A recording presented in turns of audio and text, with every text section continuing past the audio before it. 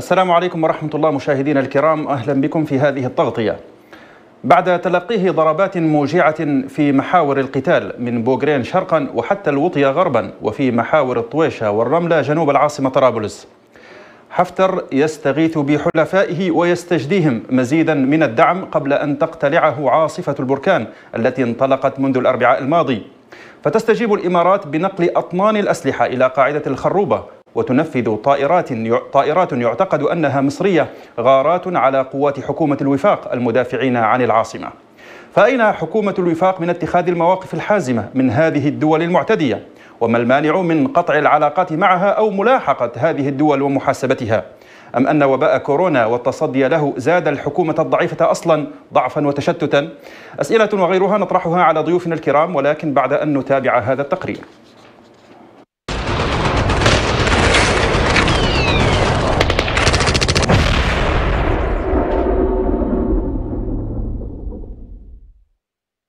بينما ينشغل العالم أجمع بجائحة كورونا ويخصص لها الميزانيات ويتحدث قادته في كل يوم في مؤتمرات صحفية في محاولة منهم للتصدي لهذا المرض. لا زالت العاصمة طرابلس تتعرض للعدوان وأطماع الجنرال الواهم في السيطرة عليها مهما كلف الثمن. مشروع الهضبة شهد معارك طاحنة استخدمت فيها الأسلحة الثقيلة والمتوسطة بعدما حاولت ميليشيات حفتر التقدم باتجاه رابش بوسليم لكن قوات بركان الغضب استطاعت صد هذا الهجوم بكل قوة وبسالة. وفي ذات الوقت قبضت على خلية تابعة لحفتر داخل منطقة بوسليم كانت تحاول العمل على زعزعة الأمن داخل العاصمة أثناء الهجوم على منطقة مشروع الهضبة. أما في محور الوشكة فقد تلقت ميليشيات حفتر ضربة موجعة من سلاح الجو التابع للجيش الليبي بعدما استهدف غرفة عمليات سرت التابعة لمجرم الحرب حفتر. وهلك على إثر هذه الغارة سالم درياك آمر غرفة عمليات سرت ومعاونه القذافي الفرجاني وأكثر من تسعة قادة للغرفة.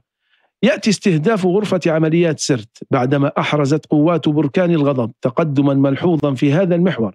منذ السبت الماضي كبدت فيه ميليشيات حفتر خسائر فادحة في الأرواح والعتاد.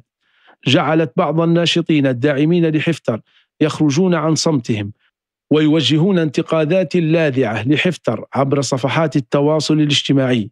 من اللي جاب الأتراك؟ من اللي جاب السوريين؟ من اللي يقصف فيه كم اللي قتال أمس 80 برقاوي قتالهم في الجيش؟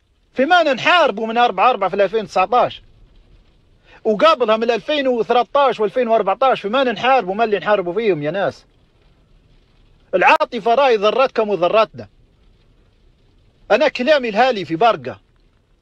كلامي بالخصوص الأهلي في برقة. يا ناس كفاكم دم. وطنكم هو برقة حدود نهاية امتداد القبائل البرقوية. راو هذا حدودكم حتى تموت غادي ما فيها شك إسلاميا. علاش ميت؟ بال اللي تقتل فيهم حتى هم أسلام. مسلمين. وزي ما يقولوا هم على المذهب المالكي وبالك أكثر منك. الحلقة هذه ما عادش تفضل لنا سنة فيها يقولوا لنا أسبوعين وتم وطرابلس ومعانا والساعة تثور وتنوض وتنهض ومش عارف شو العمليات النوعيه الكلام كله كاذب يا ناس. اللي في البوابات عندنا موجودين جوا في القيادة جوا. كلهم الغرب ما فيهمش أبناء برقه ليش الغرابة جايين عندنا قاعدين لابسين جاكات سماح ويصبوا وماسكين سلاح يا ابوها وكنادر آه سماح وقيافة ويركبوا في ال في ال في, ال في السيارات المصفحة وقاعدين عندنا في برقه اللي ما فيهاش شيء آمنة. ونحن ظنينا رقاد الرياح اللي ما عندهاش واجبة. شفت الشرطي اليوم اللي يقول عطوني وكيل ظناي.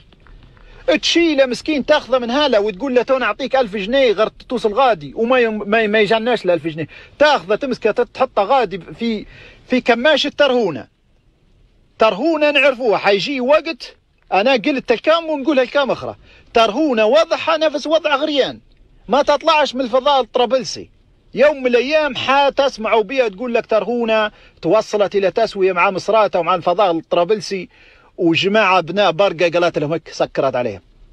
لا يقدروا يروحوا ولا يقدروا يطلعوا. معقولة قيادة 74 74 شخص يموتوا في في في ساعات؟ باهي صارت في غريان وسكتنا عليها. الخيانة وما باتش القيادة تعزي حتى واحد منهم ولا تذكرهم ولا تقول شنو اللي صار. كأنها شيلة أجلكم الله حيوانات. فهل ستشهد برقة تغيرا في موقفها من حفتر بعدما أدخل أبنائها لمحرقة حروبه العبثية في حين يتمتع أبناءه بالعيش الكريم؟ وهل ستتدارك الأمر وتنقذ ما تبقى من أبنائها؟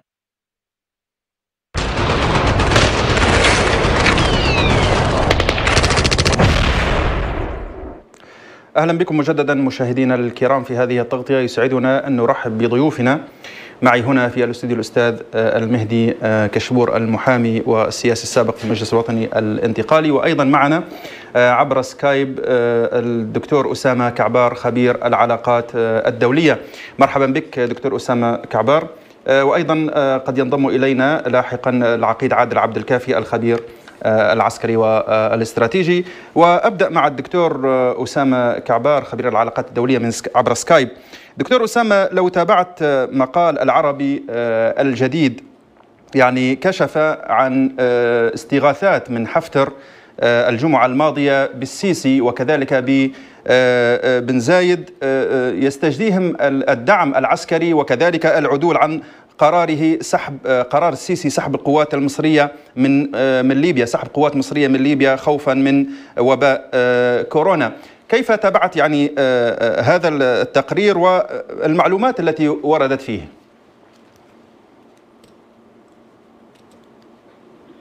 اولا أشكركم على هذه الاستضافة وأحييك واحيي الأستاذ المهدي ضيفك.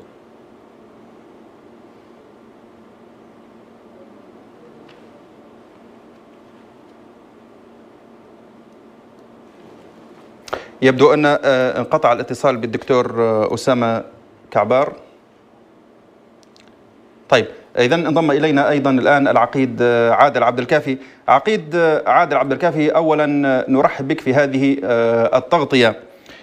رغم مرور يعني تقريبا خمسة أو ستة أيام على بدء عاصفة السلام التي شنتها قوات حكومة الوفاق على ميليشيات حفتر لكن القذائف العشوائية لا تزال تمطر الأحياء السكنية في طرابلس وتسقط الضحايا من المدنيين ما ما تعليقك؟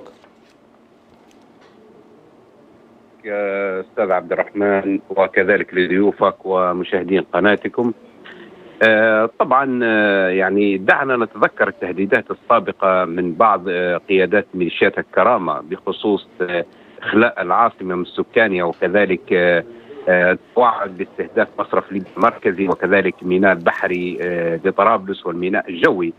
هذه التهديدات طبعا تم إعداد يعني نقول من الناحية استهدافها منذ فترة يعني. ليس عمل يعني وارد يعني نقول يعني عمل ارتجالي أو عمل تم تجهيز يعني في, في آني يعني. ولكن هو عمل تم إعداد له مسبقا حتى تكون هنالك بعض المواقع التي لا يتم رصدها من قبل قوات الجيش الليبي والقوة المساندة. تستطيع هذه الميليشيات التمركز بها بعناصر قليلة العدد بآليات لديها إمكانية في استهدافات طويلة المدى أي بمعنى استهداف قلب العاصمة. ولذلك هذه الميليشيات مثلما أكدنا أن هي تعمل على سياسة الأرض المحروقة ولا بد أن يكون مواجهتها من خلال عملية عسكرية شاملة وواسعه وهذا ما يقوم به الجيش الليبي الآن من خلال المواجهات التي تدور الآن بدءا من المنطقة الغربية من قاعدة الوطيه مرورا بالمحاور الواقعة في تخوم العاصمة طرابلس وصولا إلى الوشكة. يعني نحن حتى السلاح الجوي الآن نعم. يشارك بقوة. كذلك استهداف المباشر لتمركزات هذه العناصر. أتصور المتابعة هنالك حجم خسائر كبير جدا في صفوف هذه الميليشيات والمرتزقة سواء كان تابعين للمنطقة الشرقية أو تابعين للمرتزقة الذين تم جلبهم من سوريا ومن روسيا ومن الدول الدول الأفريقية. فنقول نعم. جيش لن يستطيع تأمين العاصمة إلا بعد أن يصل إلى قلب ترهونة. هنالك نقول يعني بدأت المراحل الأولى. في تأمين العاصمة والمدن الغربية. ولكن ستظل أيضا هذه الميليشيات تسعى إلى محاولة التسلل من في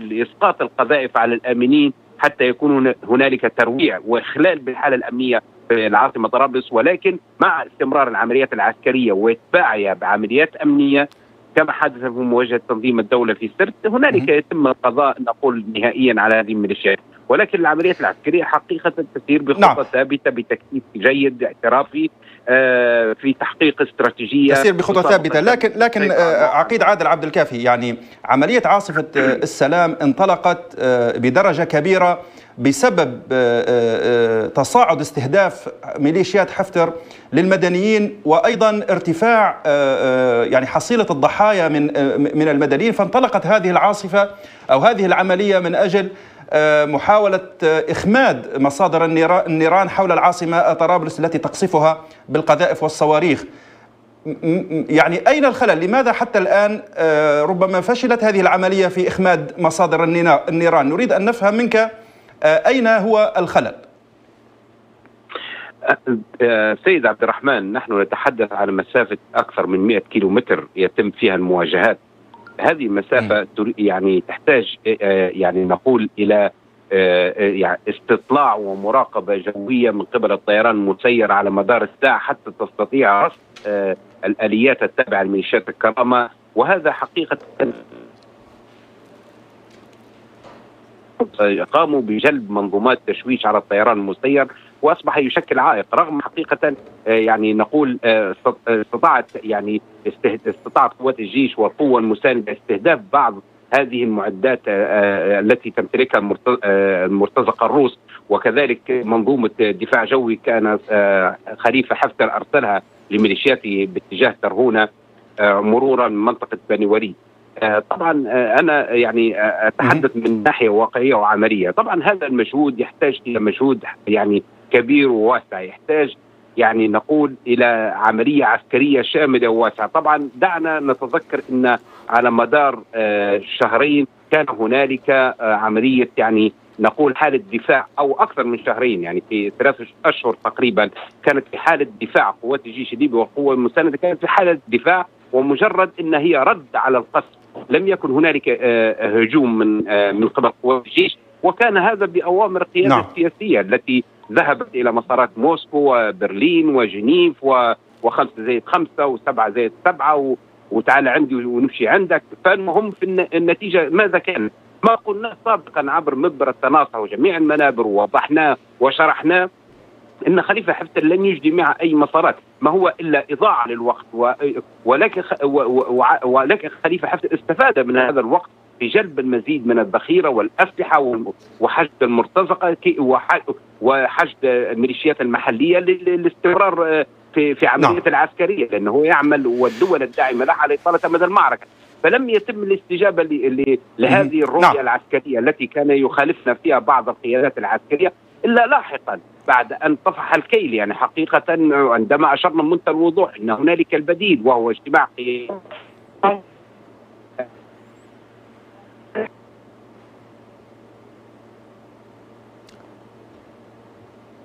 نعم عقيد عادل. عقيد عقيد عادل عبد الكافي. يبدو أيوة. انقطع الاتصال نعم. بالعقيد نعم. عادل عبد الكافي نعم. نرجو نعم. أن آه، يحاول الزملاء إعادة الاتصال به مجددا آه، إلى ذلك الحين عاد إلينا الدكتور أسامة كعبار هذه المرة عبر الهاتف خبير العلاقات الدولية نجدد الترحيب بك دكتور أسامة كعبار كنت قد سألتك عن مقال لصحيفة العربي الجديد كشفت فيه من خلال مصادرها آه، أن آه، حفتر جراء عملية عاصفة السلام الأخيرة آه، اضطر للاستغاثة بحلفائه من مصر إلى الإمارات من أجل استجدائهم مزيدا من الدعم وأيضا بالعدول عن قرار السيسي سحب قوات مصرية داعمة لحفتر خوفا من وباء كورونا كيف تابعت أنت هذا التقرير وما جاء فيه من معلومات؟ آه، بسم الله والصلاة والسلام على رسول الله. يعني كما تفضلت في البداية أن آه، هذه العملية كان مخطط لها أن تأخذ 72 ساعة وليست سنة كاملة. فالآن هناك ارتباك شديد داخل معسكر كرامة وداعميه الخارجيين أن هذه العملية استهلكتهم واستنزفتهم وخاصة الآن في وجود وباء الكورونا اللي جعل كل الدول تنكفئ على نفسها. لأن هذا الوباء يعتبر تهديد أمن قومي لكل الدول. آه، من من هذا المنطلق الآن أن حفتر وقوات حفتر لديها نقص كبير جدا وخاصة في أعداد الجنود. والآن تواجه القوات المحترفة مثل القوات المصرية أو القوات الإماراتية. تواجه إن هذه القوات في في عملية انسحاب وعملية انكماش. وهذا أمر طبعا سيهدد الجبهة بشكل كبير. وإحنا شفنا الآن التقدمات الكبيرة التي حرزتها قوات البركان أو أو أو أو أو, أو يعني غضب السلام ولا مش عارف إيش نعم. العملية الأخيرة هذه. فعلى العموم فمن هذا عاصفة السلام. يعني عملية عاصفة السلام الأخيرة نعم. نعم عاصفة السلام لأن أنا أنا حقيقة يعني معترض على هذه الكلمة لأن عاصفة وسلام لا, لا, لا, لا تنطبقان حقيقة. ونحن لسنا في عملية سلام الآن. نحن في حرب مفتوحة ويجب أن نتخيل مفرداتنا في مثل هذه الحرب. القوة والخشونة والمفردات القاسية يجب أن يتم استعمالها. هنا لأن إحنا يعني أصحاب حق وهذه حرب. يجب يجب الا الا نظهر الجانب العاطفي أو الجانب المتسامح نحن معتدي معتدي علينا يعني. فمن من هذا المنطلق الموقف م. الآن حتى على المستوى الدولي هو موقف موقف طيب. حتى ما بعد وباء كورونا ستتغير الخارطة العالمية. هناك ضغوطات اقتصادية كبيرة خاصة على الدول الكبرى مثل فرنسا ومثل أمريكا ومثل بعض الدول الداعمة. لحفتر بشكل مباشر أو غير مباشر. فسنرى هناك تغيرات كبيرة. الآن على حكومة الوفاق حقيقة استثمار المشهد الدولي خاصة الضغوطات الاقتصادية في عملية دعم التوافقات الداخلية. أنا استمعت طبعا لشريط الفيديو اللي تم استعملتوه حضرتكم في المقدمة وكنت أتمنى مثل هذه الفيديوهات ألا تنتشر لأن هذه الفيديوهات تشجع على عملية الانقسام، هذه الفيديوهات تزيد من عملية حتى الانقسام الداخلي عند الليبيين يعني عند الانقسام النفسي. أنا أتحدث عن الانقسام النفسي. وتزيد يعني من من حدة الغضب أو حدة الجهوية. دعنا نبتعد عن هذا، نحن في النهاية ليبيا يجب أن تكون دولة واحدة. آه ليبيا يجب ان ان تبنى بكل الطوائف وبكل آه يعني أقسامها وبكل مناطقها. آه هؤلاء لا يمثلون إلا أنفسهم حقيقة في العموم يعني. فيجب أن لا شخص يطلع ويتكلم في فيديو. هذا لا يمثل أهل برقة. يعني إحنا شرفاء برقة موجودين الآن في في طرابلس ومصرات مهجرين. أكثر من 250 ألف شخص مهجر هناك. هؤلاء هم نعم. من يتحدث عن برقة ويمثلون برقة. هؤلاء هم هم الوطنيين. أما يطلع لي واحد صعلوك يتحدث في فيديو بلغة جهوية. نعم يعني هو هو الشاهد الشاهد من هذا الفيديو يعني آه على ذكر على بالإشارة إلى هذا الفيديو الشاهد منه كان آه الانتقادات التي آه وجهها هذا الشخص إلى آه عملية قيادة عملية الكرامة وخليفه حفتر والمآسي التي أدخل فيها الليبيين. يعني هذا هو كان الشاهد في في في هذا المقطع. هذه هذه رسالة ورساله وصلت نعم. ولكن حقيقة المفردات العنصرية الموجودة فيه تزيد من حدة الاحتقان وتزيد من بعد المسافة النفسية ما بين الليبيين وهذا أمر برضو رسالة سلبية تأتي متضمنة في هذه الفيديوهات. على العموم نعود إلى المشهد السياسي وعملية استفتاء حفتر للدول الداعمة. فنحن الآن حقيقة نرى المشهد يتغير المشهد الدولي أو الاقليمي يتغير بشكل كبير لصالحنا.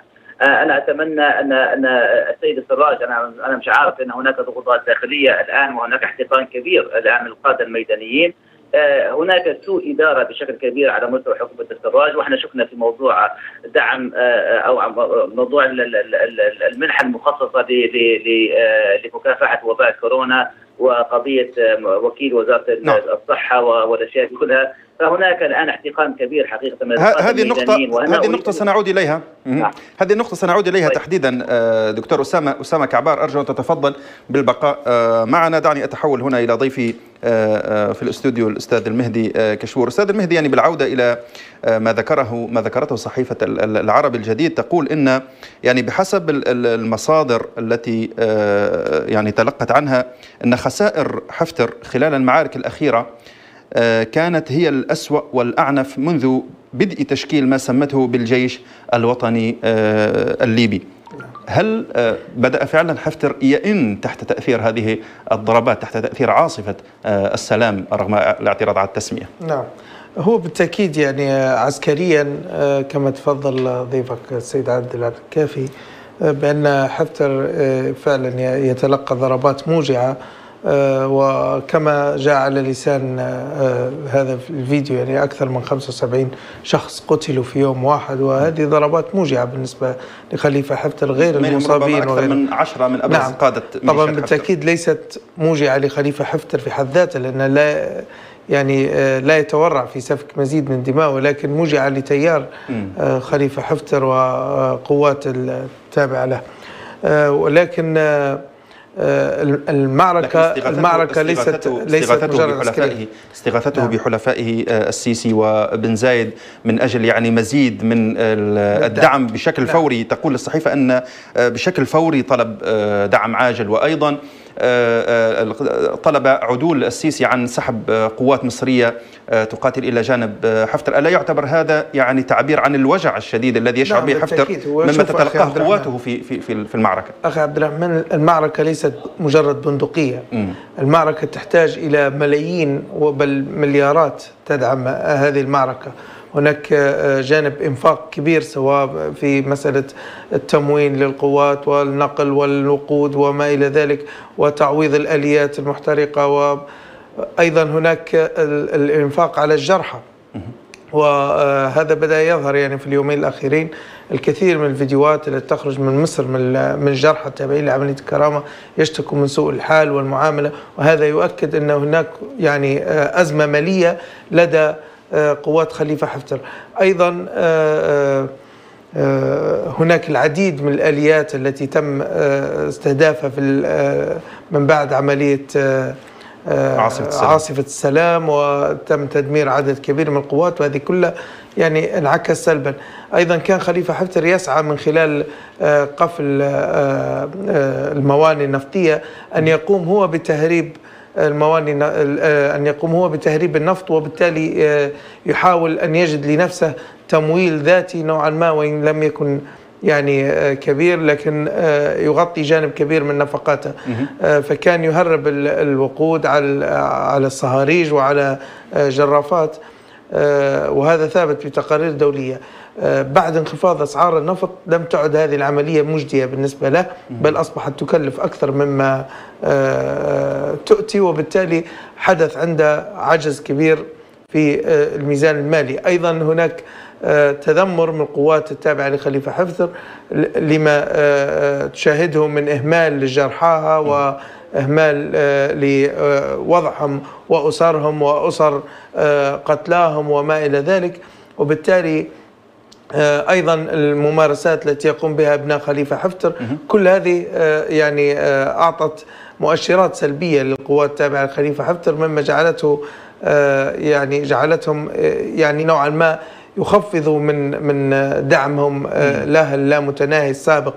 آه، أيضا آه، تعويله على آه، عصابات الفاغنر وهذه العصابات تحتاج إلى ملايين آه، ينفق عليها و آه، الإمارات بالتأكيد والسعودية التي كانت تدعم بالملايين الآن هي مهتمة بجائحة كورونا.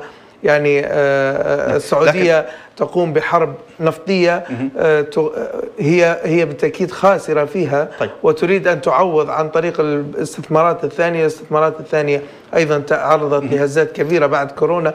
ف آه، يعني هذه الدول أيضا مشاكل اليمن كل هذه تجعل الدول الداعمة لخليفة حفتر. أيضا انقسام الصف الداعم لخليفة حفتر. نتحدث عن روسيا والسعودية وكلاهما الآن يخوضا حرب نفطية. نعم. ومعروف إن إلى أي مدى هذه الظروف لخليفة قد تدفع بحلفاء حفتر إلى التمادي أكثر في العدوان؟ لأن بحسب ما ورد في الصحيفة أن الرئيس عبد الفتاح السيسي الرئيس المصري نعم. صدق مباشرة على قرار توجيه ضربة عسكرية سريعة لتمركزات قوات حكومة الوفاق وربما هذا ما سأسأل عنه العقيد عادل عبد الكافي. ولكن بعد أن نخرج لهذا الفاصل ضيوفنا الكرام وكذلك مشاهدينا فاصل قصير ثم نواصل هذه التغطية فابقوا معنا.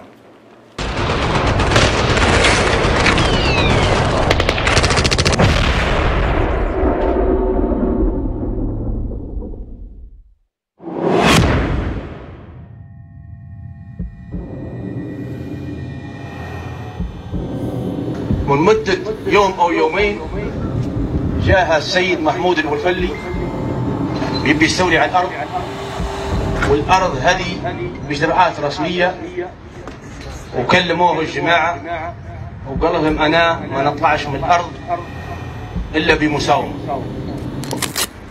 كلموا قوانة الخير قالوا لها الأرض هذه راهي مشريه والأرض هذه لهلها وهلها معروفين. قال والله أنتم شارينها من محمود الشيخي ومحمود الشيخي يعتبر عندنا داعشي. محمود الشيخي كان هو داعشي يعدوا يهاجموا مصر في التجارة والتنمية. قاعد واخذ 65 مليون وباني بهن عمارات وباني أبراج. نيجي يصبي واحد يقول نحن عندنا 4000 شهيد. تمام؟ كشي حسب حتى الدواعش ما يقول عندنا 4000 شهيد. حاجة الاخرى نقول لك على حاجة باش إنه واحد يهددنا ولا يخضر كان خذوها منكم ومنكم على حاجة سوالتكم بالله حلو من هنا يشدوا لكم وطن ويتبع طبعا خالد بورغيب عن طريق الخيمة ولهم 50 نفر ومحفظهم الدوة طبعا 50 هذوما ما يمثلوش العواقير لأن العواقير رسميين واللي عندهم مجد وتاريخ شياب الوطن مش سواد الوطن وبعدين العواقير من يوم قامت الدنيا راهم عمرهم ما خسروا معركة. بكتب. خوتي وأنا عمي باش كان عارف بالغيب قبيلة العواقير قلتكم القيفات نرحب أخوتي الدرزة واخوتي وفلة ونرحب أخوتي الزواجي نصلي على رسول الله. لا في ناس تو الوقت يشكروا لي في ونيس بو حماده ومسي عليه ونيس بو حماده شنو وضعه من العراق الموضوع ضعيف كان بالصاعقه من الحاج ونيس ضالق علينا محمد ورفلي نحن في الأخر عليه البطل البطل تعال يا باتي توكل على الله كما عربت بتحزم الموضوع. لموا رجلك ورجلك كم قاعدين. قام عزوا فضار طقوا عليه سياس وسكروا. واللي في حق في عقل علل ولا الظرف لكن بالنسبة لكيت الجيد والله كذا والله لا العجيب الود طبعا خالد بورغيب موضوع يا عواقير مش موضوع عواقير ولا موضوع قبيلة ولا موضوع يعني موضوع إن يعدي التركيا يقعمز مع الدواعش ويأخذ في الأوراق بتاعت الحواشين ورزقهم وكذا وكذا وكذا وكذا وهو يدعي بالوطنيه أنا. درت بالك تلف على تسكت عواقيره يا أكبر منك. الشهداء قاعد أنت عندي.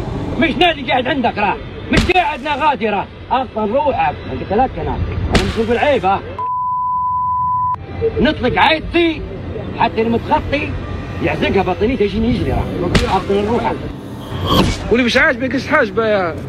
والله أنا ما نبيش ندري على الدرسة. الدرسة طبعا أنت عارفهم وعارفينهم ناس واجده وعارفهم التاريخ. نحن تاريخ. كان على المسلمين يتكوا عليه أسأل المسلمين علينا نحن. لا potenza marittima di Cartagine. عرفتوا أسأل المسلمين علينا تاريخنا. وكان على التاريخ الوطني من 2011 ها؟ أسأل من اللي خش على اسماعيل الصلابي في حوشه جوا أسأل علي وسام الحميد من يطيح له حوشة. أسأل علي كتيبة شهداء الزلتان من خش عليها. أسأل علي كتيبة العشرين كان مسكها جماعة المصراتي من خلاص سياراتها عمي بشكر عالي بالغيب قبيله العواقير طبعا نتكلم على وباء الكورونا زي ما هو معتاد في كافة أنحاء العالم. في تركيز كبير جدا.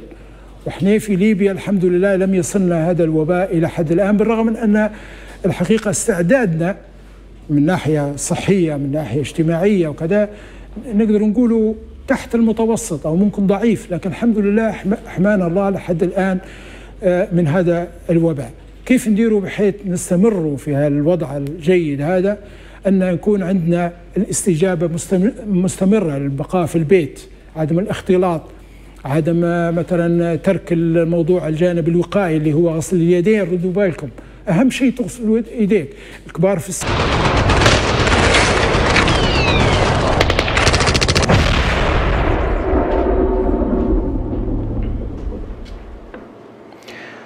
مرحبا بكم مجددا مشاهدينا الكرام ويسعدنا أن نجدد الترحيب بضيوفنا جميعا وأتحول إلى العقيد عادل عبد الكافي الخبير العسكري عبر الهاتف. عقيد عادل بحسب صحيفة العربي الجديد يعني قالت بأن السيسي صدق بعد استغاثة حفتر بالسيسي وأيضا ببن زايد واستجدائهم الدعم الفوري فإن السيسي صدق مباشرة على قرار توجيه ضربة عسكرية سريعة لتمركزات قوات حكومة الوفاق كيف تعلق على هذه المعلومات؟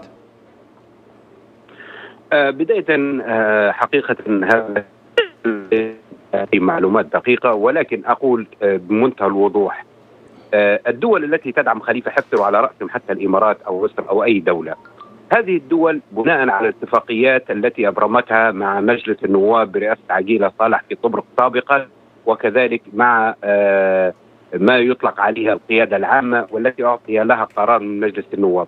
ولذلك نحن أكدنا على مجلس النواب في طرابلس والمجلس الأعلى للدولة والمجلس الرئاسي بإلغاء هذه الاتفاقيات ولم يتم إلغاء هذه الاتفاقيات. كذلك طالبناهم بإدانة هذه الدول وأيضا بقطع حتى العلاقات مع هذه الدول ولم يقم المجلس الرئاسي ولا مجلس النواب ولا مجلس الأعلى للدولة. فأتصور يعني الكلام واضح من يتحمل مسؤولية تدخل هذه الدول؟ هذه الدول عندما أبرمت هذه الاتفاقيات لتحمي ظهورها لتحمي نفسها من أي ملاحقات ومطاردات. ولذلك لو تم إلغاء هذه الاتفاقيات تستطيع أن تلاحق وأن تطارد هذه الدول وأن تقتص منها وهذه مشروع وحق مشروع. عفوا وهذا حق مشروع للليبيين ولليبيا من خلال المحكمة العدل الدولية. عموما أنا ما يعنيني الآن. المجلس نعم.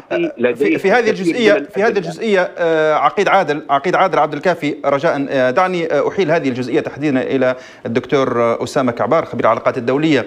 كيف تعلق على هذا الكلام دكتور أسامة؟ وهل فعلا هذه الضربات التي يوجهها السيسي لقوات حكومة الوفاق تستند على اتفاقية تعاون عسكري مع برلمان طبرق أم أم أن له توصيف آخر؟ لا بكل تأكيد أن هذه الاتفاقيات التي وقعت هي لها تأثير طبعا والحكومات الدولية عادة تحاول أن تحمي نفسها قبل أن تتخذ أي إجراءات عملية على الأرض، وإحنا شفنا مثلا تركيا عندما يعني دخلت المشهد الليبي مؤخرا أصرت بشكل كبير على أن يكون هناك اتفاقيات تحميها رسميا ووقفت هذه الاتفاقيات واودعت في الأمم المتحدة بشكل رسمي في نيويورك يعني.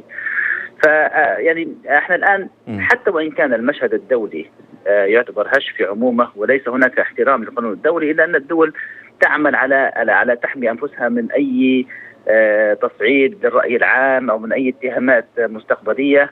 لربما يعني تجرها إلى منزلقات مهمة زي ما حصل الآن في موضوع اتهام السعودية و والقانون الذي أصدر في أمريكا باتهام السعودية بموضوع الإرهاب. فهذه اتفاقيات مهمة جدا وحقيقة آه إن المجلس الرئاسي ومجلس الدولة آه عدم سعيهم أو حتى أعضاء البرلمان آه في طرابلس عدم سعيهم لخلق دوشة حتى بأقل تقدير دوشة حول هذه الاتفاقيات يعتبر تخاذل حقيقة من قبلهم وإحنا يعني تابعنا على مستوى هذه المواجهة الأخيرة مع حفتر منذ يعني محاولة اقتحام العاصمة أن ال ال ال ال القيادة السياسية لا تتماشى مع تضحيات الشباب في الجبهات وإقدام الشباب في الجبهات. آه هناك. تردد كبير هناك طيب آه العقيد عادل عبد الكافي دكتور دكتور أسامة يعني العقيد عادل عبد الكافي يطرح ضرورة على آه في سياق يعني الحديث عن الجهود السياسية يطرح ضرورة إلغاء هذه الاتفاقيات صدور قرار من المجلس الرئاسي بإلغاء هذه الاتفاقيات وأيضا قطع العلاقات مع هذه الدول كيف تنظر إلى جدوى هذه الإجراءات؟ يعني شوف هو قانونيا حتى من ناحية قانونية البرلمان البرلمان الليبي لا يجوز له أن يتخذ إجراءات خارجية مثل هذه. فهي وهو الآن ملاحقتهم قانونيا جائزة وواضحة وهناك يعني حجة قوية لحكومة السراج باتخاذ الموضوع هذا.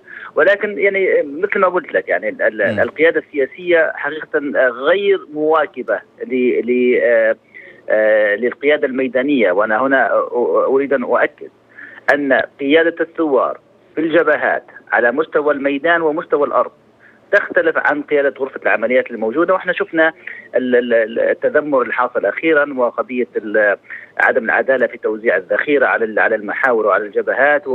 وهناك يعني محاباة وهناك ولاءات وهناك ابتزازات حقيقة تحدث في المشهد العسكري الميداني من قبل القيادات السياسية.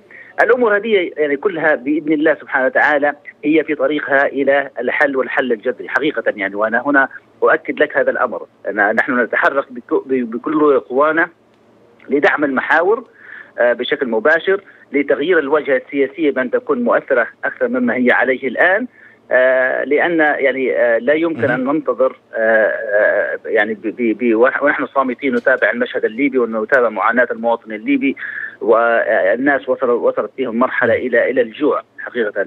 للأسف موضوع جائحة جائحة كورونا يعني عرقلت مسار التفاعلات الدولية باعتبار ان الآن الدول منكفئه على نفسها ولكن يعني نعمل وفق جهودنا نعم. وهناك بإذن الله سبحانه وتعالى يعني خطوات إيجابية يجب على السراج الانتباه نعم. ويجب على كل من هو متصدر المشهد السياسي الآن يجب عليه أن ينظر بعين فاحصه لما حواليه وإلا يعني الطوفان يعني سيجر الجميع. نعم. دعني أتحول على ذكر الجوانب القانونية في هذه الاتفاقيات. ربما هذا مجال الأستاذ المهدي كشبور كيف تعلق على هذا هذه الجوانب التي وردت في كلام كلا الضيفين يعني؟ نعم هو كلا الضيفين وجهة نظر في هذا الموضوع ولكن أعتقد أن المجلس الرئاسي ينطلق من فكرة أن هذه الاتفاقيات صدرت من غير ذي صفة. وبالتالي لا قيمة قانونية لها من الأساس. وبالتالي إذا ما ألغيتها إذا ما قمت بإجراء إلغائها فهذا يعني أن في السابق كانت شرعية. ولكن أعتقد أن إذا ما كانوا يفكروا بهذا الأمر وهذا هو الطبيعي يعني أن هذه الاتفاقيات هي أولا وقعت من غير ذي صفة ثانيا لم تنشر. كما حدث في اتفاقية مع تركيا التي نشرت وتم المصادقة عليها وما إلى ذلك. ثالثا لم يصادق عليها حتى لو كان التوقيع عليها قانوني فالمصادقة عليها لم تتم. وبالتالي طيب ما هي ما هي الخطوة المطلوبة من, وجودها من, من الرئاسة؟ سواء. المطلوب من الرئاسة. عدم الاعتراف مثلا بهذا بهذه الاتفاقية؟ أولا يجب أن يعلن هذا عدم الاعتراف من الأساس بهذه الاتفاقيات. أيضا أن يحمل الدول التي تقوم بهذه الحرب وتدعم خليفة حفتر مسؤولية التعويض عن الأضرار التي تتعرض لها ليبيا سواء المادية أو المعنوية وأيضا يعني تصرح بشكل واضح أنها لن تسدد الفواتير التي يعني متراكمة على خليفة حفتر والتي يعني حسب التقديرات في مصر تصل إلى 23 مليار لصالح مصر. مطلوبة من خليفة حفتر ثمن أسلحة مستهل يعني كانت كانت ربما لكن, لكن يراد لها أن, نعم. أن يتم التخلص نعم. منها. أستاذ المهدي كشبور يعني لكن قرار السيسي بتوجيه ضربات عسكرية سريعة لتمركزات قوات حكومة الوفاق. نعم. ما الذي يترتب على هذا من ناحية قانونية؟ هذا هذا إعلاميا لكن واقعيا لا أعتقد أن ممكن أن يحدث مثل هذا القرار خاصة بعد التدخل تركيا في المشهد. مصر تعلم جيدا انها لن تستطيع مواجهة تركيا. في تقريبا الأستاذ عادل عادل أكد وقوع هذه الضربات لا الضربات ربما تتم عن طريق طيران مسير ينطلق من داخل ليبيا لكن م. أن تخرج طائرات من مصر م. الأجواء مراقبة بشكل كبير وسوف تتصدى لها بالتأكيد تركيا وتجد لنفسها الذريعة كون أن هذا طرف أجنبي متدخل فأيضا لرد الأمور إلى نصابها وبالتالي أنا أتوقع ربما مجرد زوبعة في الفنجان أو محاولة لإثبات وجود في المشهد ولكن بالتأكيد الوضع المصري لا يحسد عليه. تورطوا مع خليفة حفتر تورطوا في ديون مع خليفة حفتر لم لا يستطيع سدادها. كانوا يعولوا على أن أو يراهنوا على أن خليفة حفتر ربما يستطيع حسم هذه المعركة منذ بدايتها اليوم سنة والفاتورة يعني طيب. تزداد يوما تلو نعم. الآخر وهم كمان يعني وقع في الوحل كل ما يحاول الخروج يغرق, يغرق أكثر يغرق نعم. أكثر. لكنك تعتقد أن توجيه ضربة عسكرية من من خلال الطيران المصري أمر مستبعد نتيجة نعم. لتبعاته السياسية والعسكرية. مصر تحسب جيدا وليس فقط القانونية. طيب. الأطراف الدولية. سيد عادل عبد عبد الكافي يعني تحدثت عن سير عملية عاصفة السلام بأنها تسير بوتيرة جيدة. رغم أن القصف العشوائي لا يزال يطال أحياء العاصمة السكنية الأحياء السكنية في العاصمة طرابلس كيف يمكن عقيد عادل يعني كمرحلة أولى على الأقل تأمين العاصمة وإخماد هذه المصادر للنيران من أجل عدم استهداف يعني الأحياء السكنية والمدنيين، متى يتحقق ذلك وكيف؟ آه، بداية أستاذ عبد الرحمن آه، أعرج سريعا على نقطة هامة آه، من ضمن الجدل الذي يدور بخصوص الاتفاقيات وإلغائها. هنالك القرار الذي تم من مجلس النواب في طرابلس بخصوص تكليف خليفه حفتر كقائد عام لما يسمى القيادة العامة. هذا القرار تم إلغائه من قبل مجلس النواب ولكن لم يتم تعميمه من قبل القائد الأعلى على رئاسة الأركان العامة وعلى النائب العام حتى يكون هنالك نقول مح... آه، كيفية محاكمة آه، من يحمل رقم عسكري أو مرسوم عسكري آه، ويقاتل في صفوف خليفة حفتر. لأن هؤلاء وقعوا في جدلية الآن ما بين إنهم أسرى أو متمردون. فمن خلال إلغاء هذا القرار سيتم محاكمتهم كمجموعة متمردة وليس كأسرى حرب. لأن الحرب الدائرة الآن هي حرب أهلية ليست ما بين دولة ودولة. وهي حرب داخلية مجموعة تحمل مرسوم عسكري تمردت على السلطة الشرعية الموجودة في البلاد. ولذلك ولذلك عندما نتحدث عن دولة القانون فلا بد أن يتم ترسيخ مبادئ القانون آه، التي نستطيع أن نسير عليها في محاكمة هؤلاء آه، المتمردين على السلطة الشرعية، ولكن القائد الأعلى لم يعمم أو المجلس الرئاسي لم يعمم الذي لديه صفة القائد الأعلى هذا القرار. م. إن تم إلغائه ويتم نشره في الجريدة اليومية وغيره، هذه نقطة. آه، النقطة الأخرى آه، العمليات م. العسكرية ستأخذ وقت. عفوا قبل أن نبدأ في في العمليات العسكرية الدول التي تدعم خليفة حفتر نعم. أقولها بمنتهى الثقة وبما لدي يعني من معلومات وشبه متأكد منها يعني بنسبة كبيرة جدا تعلم جيدا الوضع العسكري داخل ليبيا إن خليفة حفتر لن يستطيع أن يسيطر على العاصمة ولن يستطيع أن يتقلد المشهد لا العسكري ولا السياسي في ليبيا وهي تقرأ المشهد عسكريا أفضل من القيادات الموجودة داخل ليبيا. آه، فلذلك هي تعمل على بلان 2 أو الخطة البديلة وهي استمرار حالة الفوضى والحرب الأهلية والصراع المسلح ودعم خليفة حفتر لإطالة أمد المعركة حتى يتم استثمار والاستفادة من هذا المشهد في تنفيذ مشاريعها وأجنداتها. أي بمعنى؟ أقولها كده بمنتهى الوضوح.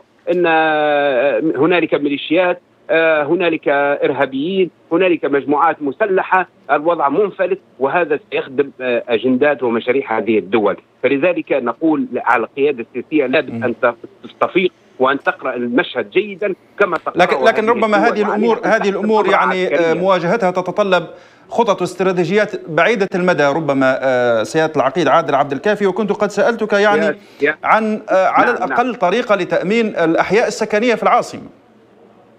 نعم نعم سؤال مهم جدا وفي محله.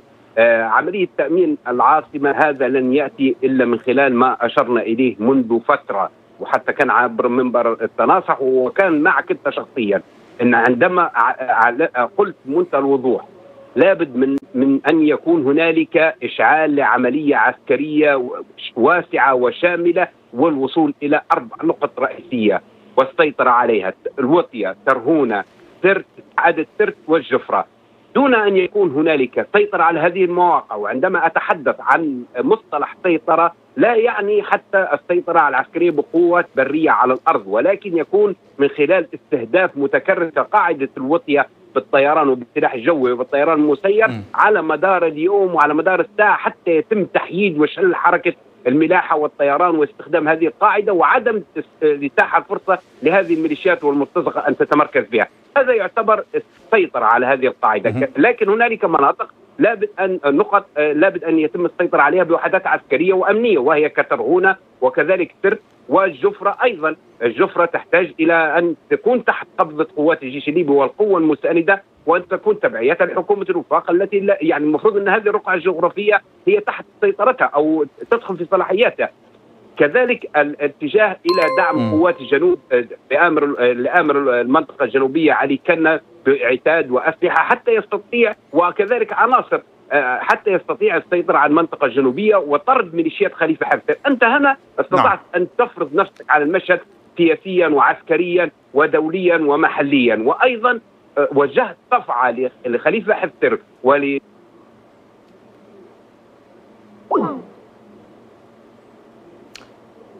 نعم سيد عادل. يبدو انقطع الاتصال بالسيد عادل عبد الكافي. أتحول مباشرة إلى الدكتور أسامة كعبار. دكتور أسامة أيضا يعني في هذه الأثناء يعلن الاتحاد الأوروبي إطلاق عملية عسكرية أيضا جديدة في البحر المتوسط تحت اسم إيريني لمراقبة تنفيذ قرار حظر توريد السلاح إلى ليبيا. وبالحديث على أداء حكومة الوفاق ومواقفها يعني كان قبل قليل هناك عواجل على شاشة التناصح. تتحدث عن أن وزارة وزير الخارجية محمد سيالة يبدو أن حكومة الوفاق تعترض على هذا القرار من الاتحاد الأوروبي وهذه العملية. يقول سيالة أن الاتحاد الأوروبي لم يضع أي رقابة على تدفق السلاح إلى حفتر وأن تطبيق القرار بهذا الشكل يضع الاتحاد الأوروبي موضع الاتهام. كيف تنظر أنت أنت دكتور أسامة كعبار إلى هذه العملية؟ أنقطع الاتصال بالدكتور أسامة كعبار أيضا أحيل هذا السؤال إليك أستاذ مهدي كشبور. هو الحقيقة يعني هذا القرار هو ليس جديد. يعني هو استكمال لعملية صوفيا التي ذاق منها ثوار بنغازي الأمرين. يعني عندما قطعت الامدادات عنهم وفتح المجال لخليفة حفتر بريا وجويا وحتى بحريا كان يصل الدعم إليه. و شكلت عملية صوفيا في ذلك الوقت لمنع المهاجرين وأيضا لقطع الإمدادات عن ثوار بنغازي ودرنا مما ساهم في سقوط مدينة بنغازي ودرنا. هذه تحاول فرنسا أن يعني تفعل نفس الاتفاقية وإن كان بصورة جديدة واسم جديد ولكن لنفس الأهداف قطع الإمدادات, قطع الإمدادات الوفاق. الواضح عن تركيا لحكومة من تركيا لحكومة الوفاق وغض الطرف عن تلك التي تأتي من مصر وتأتي من الإمارات ومن الأردن ومن روسيا وما إلى ذلك.